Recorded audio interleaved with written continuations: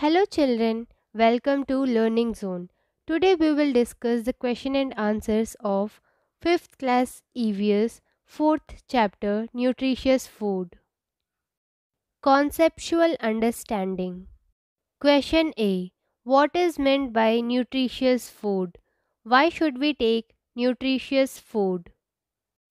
Answer is Nutritious food is the food that contains all the essential nutrients such as carbohydrates, proteins, fats, vitamins and minerals.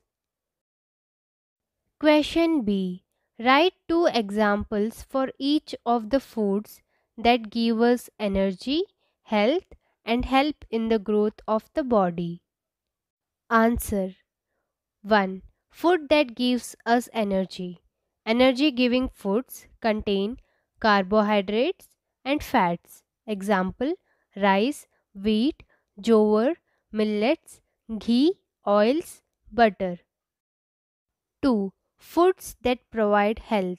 They contain vitamins and minerals. Example fruits, vegetables, milk, eggs, green leafy vegetables. 3.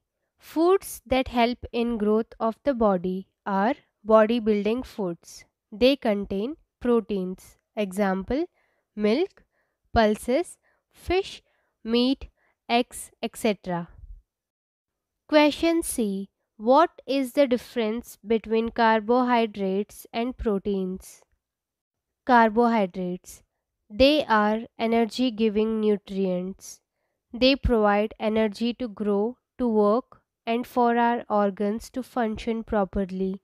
Example rice, wheat, millets, etc. Proteins.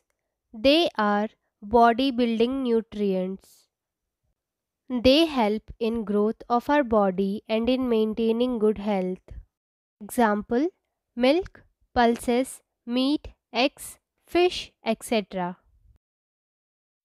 Question D. Why should we avoid eating junk food? Answer is we should avoid junk food because 1. We do not get the required nutrients from junk food. 2. They contain high calories or carbohydrates, more salts and oil which harm our body. 3. Artificial colors and chemical preservatives are used to store them. 4. They make us fat and cause health problems like obesity.